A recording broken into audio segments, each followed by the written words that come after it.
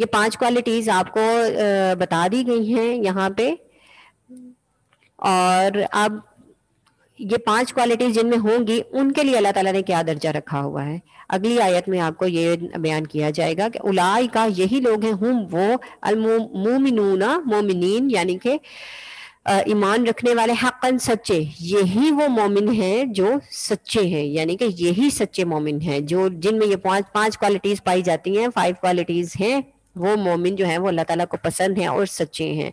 लाहुम, लिए उनके ला जो है वो ला और ली, दोनों जो है वो लिए के लिए यूज़ होते हैं। लाम अलिफ ला जब आता है ना, वो नहीं के लिए यूज़ होता है, ठीक है? लाम जबर ला और लाम जबर ली जब किसी भी चीज़ के साथ, किसी भी लफ्ज के साथ जुड़ के आता है तो उसका मतलब लिए होता है, ठीक है? हम उनके लिए उनके लिए दरा जाते दर्जे हैं। इन दा पास रबिम रबीम अपने परवरदिगार के या अपने रब के पास। वह मगफिरतन और बख्शिश है, व रिजकुन और रिस्क है करीम उन इज़्ज़त का, या रिज रोजी है इज़्ज़त की। ठीक है कि उनके लिए अल्लाह ताला ने क्या इनाम रखा हुआ है कि यही वो सच्चे मोमिन हैं और इनके लिए परवरदिगार के यहाँ बड़े बड़े दर्जे हैं और बख्शिश और इज़्ज़त की रोसी है। अल्लाह ताला उनको तीन चीज़ें अता फरमाई बड़े बड़े दर्जे, यानी कि उनके उनका जो स्टेटस होगा वो बाकी दूसरे लोगों से बहुत आगे होगा। ठीक है, बहुत बड़ा होगा।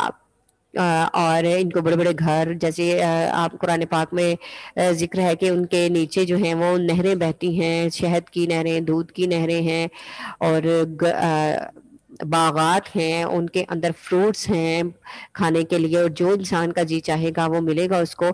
इसके अलावा अल्लाह ताला उनको बख्श देगा। सबसे बड़ी बात है कि उनके गुनाह माफ़ कर दिए जाएँगे। जो उन्होंने इस ज़िंदगी में जो ज़िंदगी हम गुजार रहे हैं उसमें किए होंगे। और इज़्ज़त की रोजी है। इज़्ज़त की रोजी का मतलब कि उनको बैठे बिठाए ईच एंड एवरीथिंग मिल जाएगी जो वो ख्वाहिश करते हैं। खाने की चीज़ कोई चाहे तो वो उनको मिल जाएगी। उनके आगे पीछे जो है वो हुरे होंगी और गुलामान होंगे ठीक है? जो चीज़ भी चाहेंगे उनको बड़े बड़े तश्तरी का वर्ड यूज़ किया जाता है कि बड़ी बड़ी प्लेटों में उनके लिए खान आएँगे फ्रूट्स आएँगे और आ, अनार का ज़िक्र है रुमान आ, तीन खजूर का तीन जो है वो आई थिंक सो जैतून को कहा जाता है जैतून और तीन खजूर और जैतून का ज़िक्र है।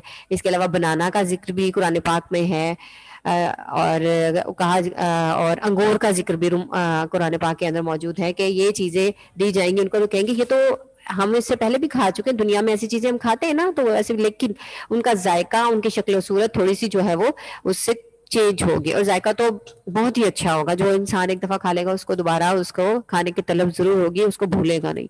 इज़्ज़त की रोजी बगैर, मेहनत के बगैर, मुशक्कत के आपको बगैर परेशानी के ये चीज़ मिल जाएगी। कमा, जैसा कि अखवा जका निकाला रबू का आपके रब ने मिन से बैती का आपके घर से बिलहक के, हक के साथ। और बेशक फरीकन एक ग्रोह मिन मिन से मोमिन मोमिनों में से लकारी हूँ ज़रूर नाखुश था।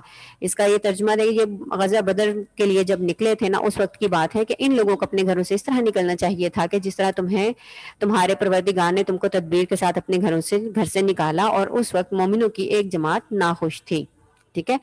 तो अब ये है कि जब पैगंबर पाक निकले तो उस वक्त कुछ लोग जो थे वो चाह रहे थे कि अबू सुफियान का काफिला जो है वो मिल जाए हम लोगों को तो हम मुकाबले के बगैर माल जो है वो हासिल कर लें।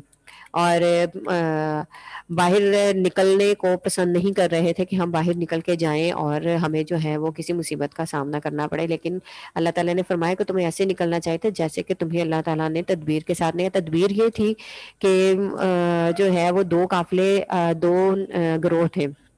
इसमें आगे ज़िक्र भी आएगा कि दो ग्रोथ है तुम लोगों को बताया था कि कोई एक जो है वो आप लोगों को दे दिया जाएगा, आप लोग उस पर फतह हासिल करेंगे। तो लेकिन चूँकि मुसलमान कुछ नए नए भी अभी दाखिल हुए थे इस्लाम में और पहला मार्का था, इसलिए कुछ झिझक रहे थे। तो अल्लाह ताला कह रहे हैं कि जैसे मैंने तुम्हें निकाला, इसी तरह से तुम्हें निकलना चाहिए था, लेकिन मोमिनों की जो एक जमात है, वो ना खुश थी। अल्लाह ताला को हर बात का पता होता है, ठीक है? बेटा, अभी जो है, वो आज ये लाइट बीच में जाने की वजह से थोड़ा सा डिस्कनेक्ट हो गया था टाइम वेस्ट हो गया। अब नेक्स्ट टाइम के लिए जो है, वो आपको मैं ये करवा दूँगी। नेक्स्ट आयात, ये फाइव आयात आप लोगों ने लर्न करनी है, मैं आप लोगों से सुनूँगी भी, ठीक है? उस वक्त तक के लिए अल्लाह हाफिज। और आप लोगों ने ये वर्क अपना वर्कबुक पे करना है। ये वाले खास तौर पे, और जो आपका दूसरा होगा, उसको आपने उस पर भी करना है। लूज शीट पे भी, ठीक है? आप लर्न कीजिए और अपने वर्कबुक पे लिखना है। आपने मैंने नेक्स्ट टाइम वीडियो ऑन करवा के देखना, आपने लिखा है कि नहीं लिखा, ठीक है? ओके नेक्स्ट टाइम तक के लिए अल्लाह हाफिज़।